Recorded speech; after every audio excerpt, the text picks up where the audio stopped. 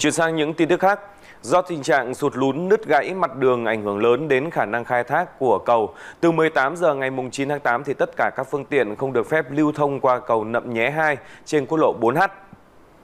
Do mưa lớn kéo dài những ngày qua tại vị trí cầu Nậm Nhé 2 km 135 800 quốc lộ 4H đi qua địa bàn xã Mường Tong, huyện Mường Nhé, tỉnh Điện Biên, xuất hiện tình trạng sụt lún nứt gãy mặt đường, ảnh hưởng lớn đến khả năng khai thác của cầu, tiềm ẩn nguy cơ mất an toàn giao thông. Để hạn chế tối đa thiệt hại có thể xảy ra, Sở Giao thông Vận tải Điện Biên đã ra thông báo cấm xe qua cầu, đồng thời chỉ đạo đơn vị quản lý đường lắp dựng barrier, rào chắn. Thanh tra giao thông phối hợp cùng đơn vị quản lý đường bộ trực gác 24 trên 24 giờ, đồng thời lực lượng chức năng khảo sát, đánh giá mức độ hư hỏng mặt đường và lập phương án khắc phục.